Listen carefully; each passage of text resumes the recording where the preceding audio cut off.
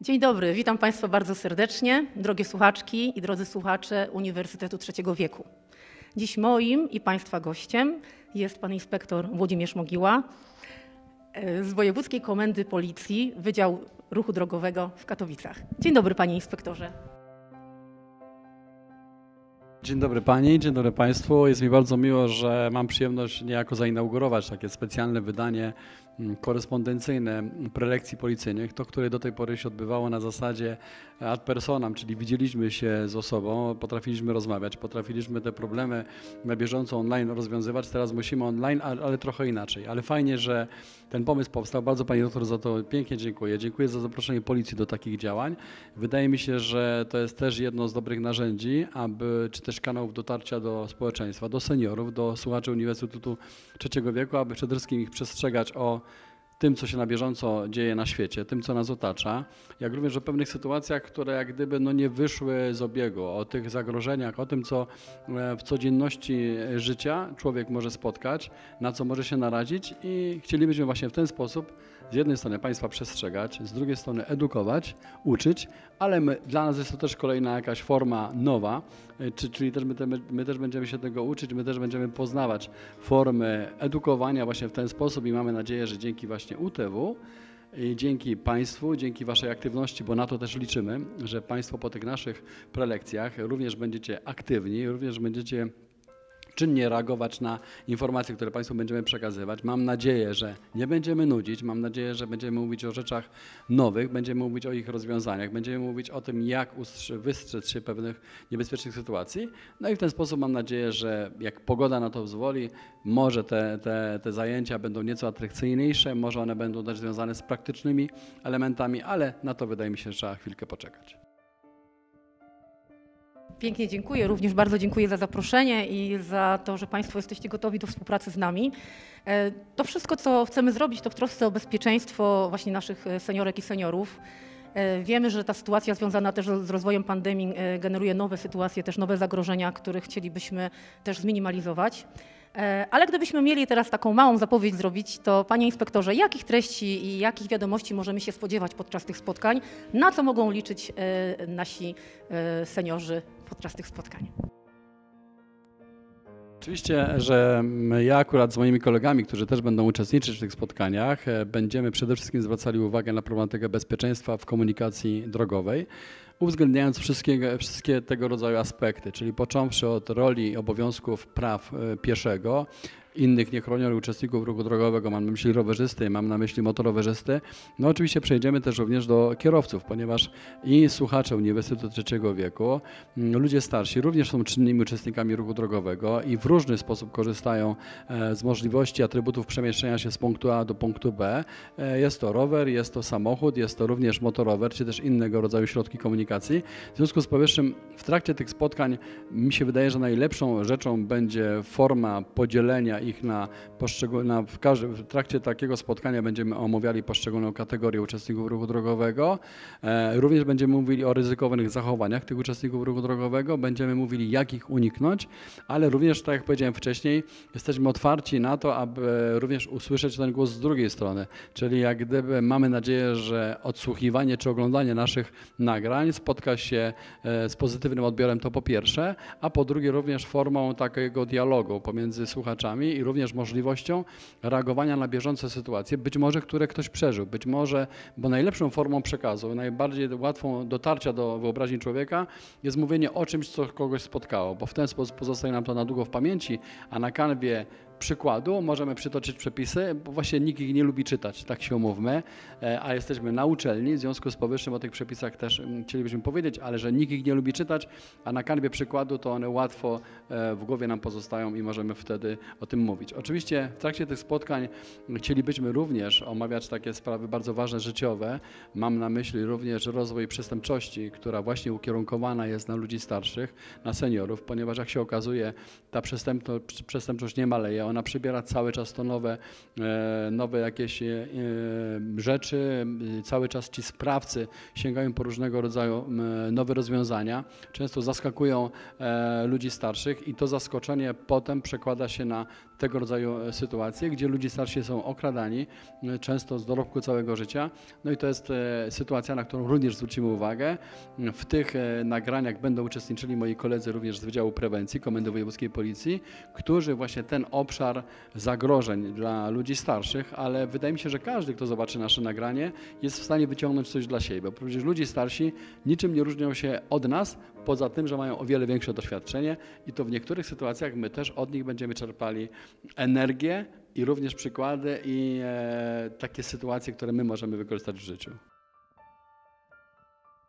Bardzo się cieszymy, e, czekamy z niecierpliwością. Myślę, że tutaj wiele interesujących treści e, się pojawi. Wiemy też, e, drodzy Państwo, że w najbliższym czasie zmienią się przepisy związane z ruchem drogowym od 1 czerwca, tak? Zmiany czekają nas poważne, a w związku z tym no, liczne konsekwencje też dla, zarówno dla kierowców, jak i dla pieszych. Także liczymy tutaj na wsparcie i pomoc i wiedzę ekspertów, specjalistów. A gdyby Pan, Panie Inspektorze, miał teraz powiedzieć, co Pana zdaniem, e, jeżeli chodzi o bezpieczeństwo, jest w takim dekalogu bezpiecznego seniora taką kwestią dla Pana kluczową, która być może w ostatnim czasie jakoś e, wyniknęła, albo być może Pana zdaniem, no szczególnie na to trzeba zwrócić uwagę, to co by to było? Trudno jest o tym opowiedzieć e, w ciągu paru minut, bo trzeba by umieć to posegregować, poukładać w poszczególne kategorie.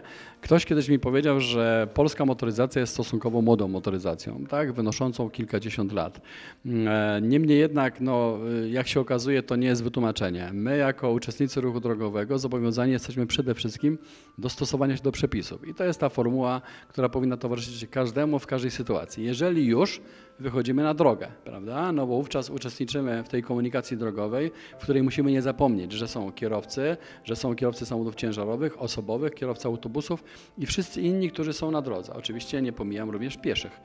E, I tutaj wydaje mi się, że te elementy muszą współgrać, czyli niejako te puzzle muszą się poukładać, a żeby się poukładały, to te relacje muszą być na właściwym poziomie. I tu jest właśnie, e, mówiąc szczerze, wilk pogrzebany z uwagi na fakt, że te relacje często e, mają dużo e, do dyskusji, no i się okazuje, że nad tymi relacjami powinniśmy dużo pracować. Jeżeli te relacje wzajemne pomiędzy uczestnikami ruchu drogowego będą na słusznym poziomie, to wówczas kierowca i pieszy będą szanowali jeden drugiego. A jeżeli będą szanowali jeden drugiego, nie będzie dochodziło do zdarzeń drogowych z udziałem jednych czy też drugich. Ale w tym momencie, już tu i teraz, wypada powiedzieć, że od kilku lat nie zmienia się jedna bardzo negatywna tendencja, czyli tendencja zagrożeń kierowców wobec pieszych. I tu z pełną premedytacją o tym powiem, ponieważ to właśnie kierowcy zobowiązani są w trakcie uczestnictwa w ruchu drogowym do zachowania szczególnej ostrożności, a w tej definicji łączy się wszystko. Kwestia spowolnienia ruchu, kwestia upewnienia się o możliwości kontynuowania jazdy, zbliżając się do określonego e, jakiegoś rozwiązania infrastrukturalnego, a mam na myśli na przykład przejście dla pieszych. Wydaje się kuriozalna rzecz, ale proszę zwrócić uwagę, jak niewielki odsetek kierowców zwalnia, zbliżając się do zakowanego przejścia dla pieszych. I generalnie tutaj wydaje mi się, że jeżeli nawet kierowcy, jakiś odsetek kierowców poczuje się urażona, mam na myśli seniorów, no mam na myśli tych, którzy nas zobaczą, to ja jestem w stanie szybciutko z tego błędu i z tego, z tej, tego ewentualnego obrażenia czy też urazy ich szybko wyprowadzić na właściwe tory. Ponieważ ja mówię o konkretnych liczbach. Jeżeli z tych liczb wynika, że e, są sprawcami e, kierowcy wobec pieszych ponad 85% zdarzeń drogowych, czyli to właściwie dyskusja jest żadna. W tych parunastu procentach sprawstwo zdarzeń drogowych leży po stronie pieszych. Czyli tu mamy wiele do zrobienia. Relacja, psychologia, i to wzajemny szacunek i zrozumienie. I to są klucze do wyjścia dalej do bezpieczeństwa. Pięknie Panu dziękuję. Myślę, że to faktycznie te e, dane liczbowe i te statystyki brzmią dramatycznie. Myślę, że one też bardzo działają na wyobraźnię i w związku z tym e, no, warto, żebyśmy się przyglądnęli też sobie i z, tak, e, z taką postawą krytyczną trochę e, też zweryfikowali pewne swoje zachowania na drodze i jako kierowców, i jako pieszych.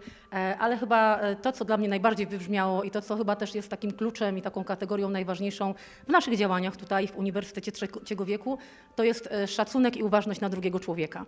A to e, e, tutaj pan inspektor bardzo podkreślał, także bardzo dziękuję. I myślę, że te kategorie będą chyba w każdym z naszych spotkań gdzieś tam się bardzo mocno pojawiały i będziemy e, jakoś e, zakotwiczali ciągle te nasze rozmowy i dyskusje gdzieś wokół tego, bo tak naprawdę myślę, że w tym faktycznie jest, znaczy to jest najważniejsze i najistotniejsze w relacji z drugim człowiekiem. I bardzo się cieszę też, że możemy popatrzeć na te zdarzenia drogowe nie tylko jako na coś, co się właśnie jako zdarzenie drogowe, które gdzieś tam jest w, w statystykach czy gdzieś jest opisane, ale przede wszystkim bardzo mi się podoba właśnie to spojrzenie jako na relacje, że to jest relacja między ludźmi. E, no, ludzie są sprawcami, e, prawda? Także tutaj, żeby tą, e, ten szacunek i uważność wzmacniać, myślę, że będziemy nad tym pracować. A czy możemy jakąś już, nie wiem, małą, mały rąbek tajemnicy uchylić i może coś zapowiedzieć na raz następny? Tak już ostatnie pytanie pana inspektora. Wydaje mi się, że na następny raz na pewno, e, tak jak powiedziałem dzisiaj, e, zajawkę zrobiłem tylko i wyłącznie problemu, które mamy.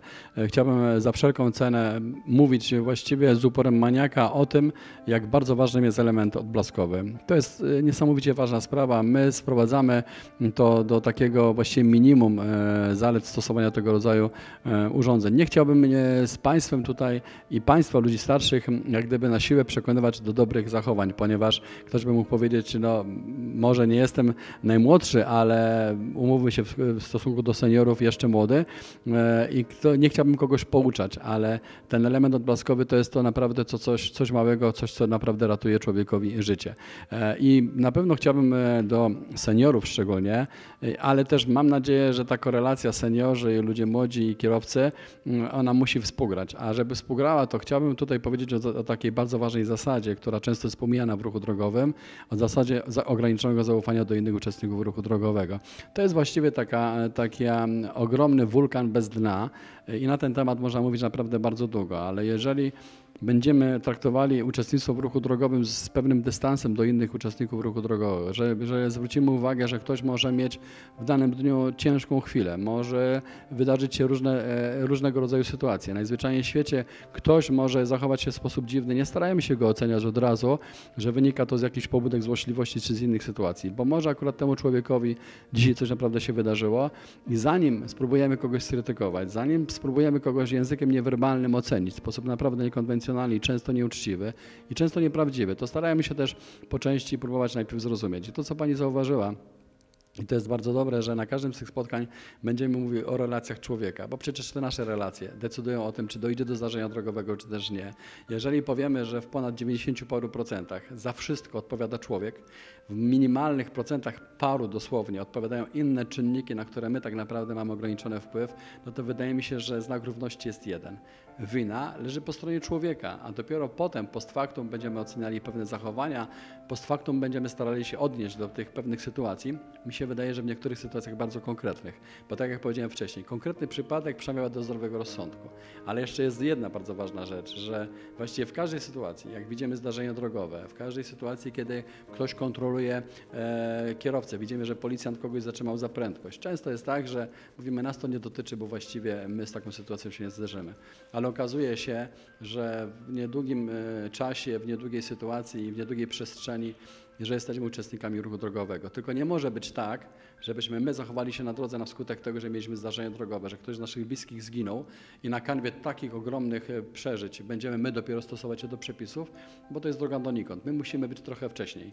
I dlatego te nasze spotkania mają na zasadzie uczyć, przeciwdziałać, no i ewentualnie leczyć tych, którzy zostali w jakikolwiek sposób e, e, może źle potraktowani, którzy na skutek tych naszych zajęć tutaj z Państwem wyciągną wnioski dla siebie na konkretnej bazie przepisów, które będziemy omawiali, ale tak jak powiedziałem, nikt tych przepisów e, nie lubi czytać. Można by tu nawet sobie postawić pytanie i być może słuchacze na nie nam odpowiedzą. Kto w ostatnim czasie, umówmy się, w ostatnim pół roku z seniorów czy z innych słuchaczy, którzy zobaczą nasze wykłady, sięgną do przepisów ruchu drogowego. Bardzo jestem ciekaw następnego spotkania i odpowiedzi na to pytanie. No bardzo się cieszę, to wyzwanie dla nas. Myślę, że tutaj e, zamieścimy też to pytanie pod tym naszym e, filmem, e, który zamieścimy na naszej stronie internetowej i Państwa zapraszamy do komentowania oczywiście też tego naszego spotkania, ale też do tego, żebyście Państwo się włączyli aktywnie, żebyście Państwo zadawali pytania i właśnie też oczekujemy odpowiedzi na pytanie, tak żebyśmy przy następnym spotkaniu mogli też ze swojej strony opowiedzieć, jakie są nasze doświadczenia i nasza wiedza właśnie związana z bezpieczeństwem, na ten moment przynajmniej, zanim rozpoczniemy e, i zanim właśnie no, będziemy też e, tą wiedzę czerpać od Panów. Pięknie dziękuję Panie Inspektorze za to spotkanie, bardzo się cieszę i zapraszam Państwa do kolejnych naszych spotkań. Wszystkiego dobrego i do zobaczenia.